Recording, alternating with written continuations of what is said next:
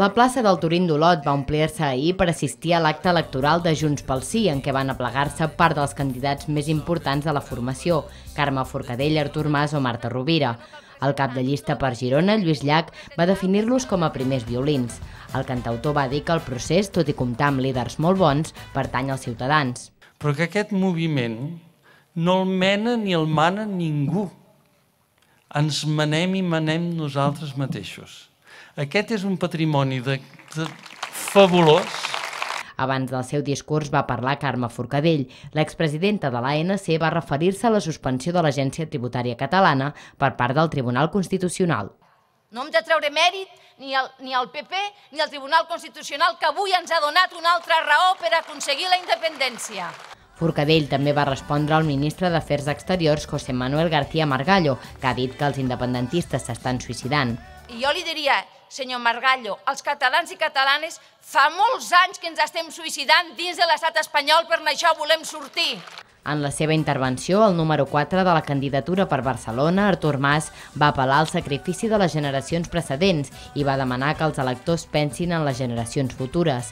Va assegurar que Catalunya necessita la independència per aspirar a l'ocupació de Finlàndia i altres països de la Unió Europea i demanar als catalans que aprofitin aquesta oportunitat.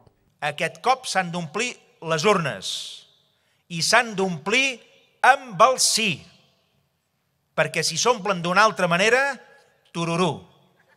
S'ha acabat la història. Tenim aquesta oportunitat i no la podem desaprofitar. I no en tindrem una altra en bastant temps si aquesta no surt bé. I pot sortir bé. Jo estic convençut que sortirà bé. La número 9 de Barcelona i secretària general d'Esquerra, Marta Rovira, va demanar als garrotxins que convencin 10 persones del seu entorn per donar-los força a les urnes. Va assegurar que l'Estat ha donat l'esquena a Catalunya i va esgrimir arguments econòmics, com la factura de la llum o la inversió en trens d'alta velocitat. I potser entre aquestes 10 persones que trobareu que encara no sabeu si estan convençuts, doncs trobareu gent que us dirà bueno, però potser si hi ha canvis a l'Estat, si hi ha canvis polítics, potser, potser podem arribar a fer un referèndum, o potser hi haurà gent que entendrà que Catalunya es mereix un tracte millor, o potser, jo em pregunto, tota aquesta gent no es donen compte que la revolució que volen fer a l'Estat està passant ara, avui, ara mateix i d'aquí 13 dies a les urnes? El número 7 per Girona i alcalde de Besalú, Lluís Guinó, va assegurar que cap català no ha de patir per la pensió després de la independència.